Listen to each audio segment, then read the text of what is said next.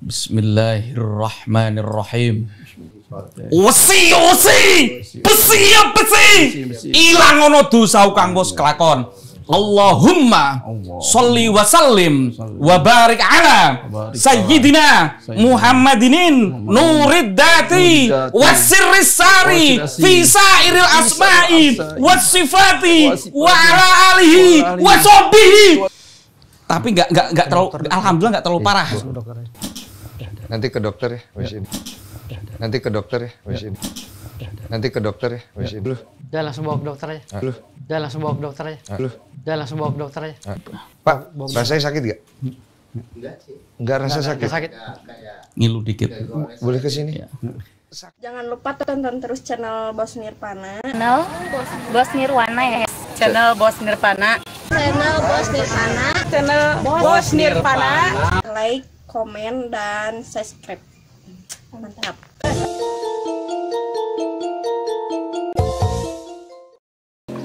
Assalamualaikum warahmatullahi wabarakatuh. Ketemu lagi dengan saya di channel Bos Nirvana. Ah, Semoga kita semua selalu ada dalam lindungan Allah subhanahu wa ta'ala Penuh dengan keberkahan. Amin. Amin ya robbal alamin.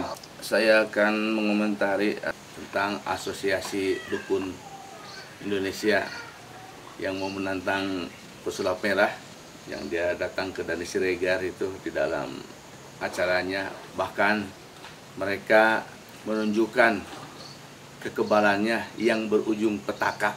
Tapi sebelum itu jangan lupa tonton terus channel Bos Nirvana. Jangan lupa subscribe, like, dan share juga. Mari kita lihat apa yang akan kita lihat hari ini. Mudah-mudahan bisa berguna, bisa bermanfaat, dan kita bisa mengambil hikmah dari semua ini. Salah satu dari uh, asosiasi dukun Indonesia yaitu menunjukkan kekebalannya, ilmu kebalnya dan kesaktiannya tapi berujung petaka. Uh, mari kita lihat seperti apa pertunjukannya.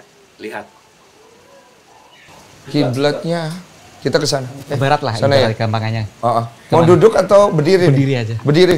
Izin Oke. ya, berdiri. GG, monggo, monggo, monggo. ke mana sana ya oke ngadep ke sana Kiblat ke mana sih? Sana. Sana, sana. Sana, sana. Iya. Oh, oh. istighfar Pertama-tama ini seseorang hanya Allah disuruh berbuka baju ya, tapi menutupi menutupi pusarnya katanya aurat Astagfirullah. dan dibacakan Astagfirullah. ayat-ayat eh,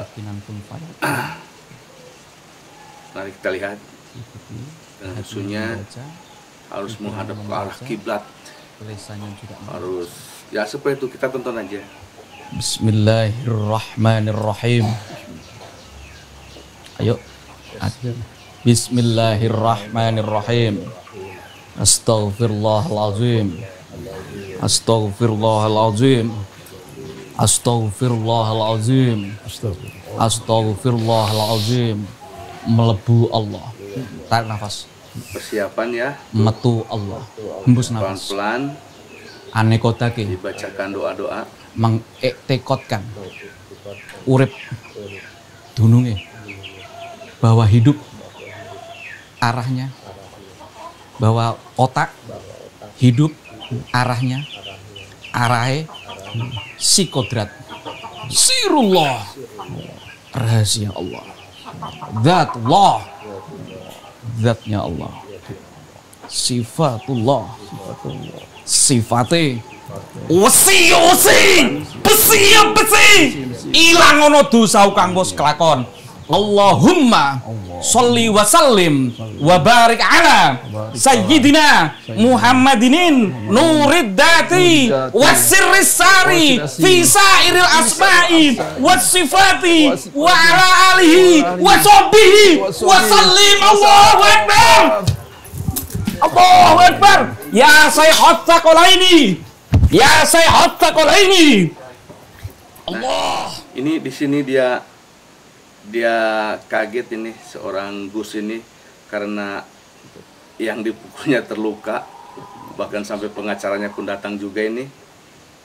Ini sampai berdarah-darah. Ternyata Ya saya ini. tuh. Ya ternyata nggak kebal juga. Ternyata jebol juga. Bahkan Sampai akhirnya ya mereka semua atau yang memimpin acara menyarankan untuk ke dokter. Ini pedang tajamnya luar biasa. dia panik dia panik. Suruh Tapi nggak nggak nggak terlalu, alhamdulillah nggak terlalu parah. Ya, Nanti ke dokter ya, di sini. ke dokter. Heeh. Monggo duduk dulu. Ya langsung bawa ke dokter aja. Heeh. Hatinya berubah. Pak, rasanya sakit gak? Enggak rasa sakit. Sakit. Ngilu dikit. Boleh ke sini? Ya. Sakit enggak? itu aja dari saya mudah-mudahan ada manfaatnya dan bisa diambil hikmahnya pesan dari saya setinggi apa pun ilmu kita setinggi apa pun kehebatan kita janganlah diumbar dan janganlah dijadikan untuk kesombongan. Mudah-mudahan kita semua selalu dalam ridho Allah selalu selalu dalam keberkahan. Ditutup. Assalamualaikum warahmatullahi wabarakatuh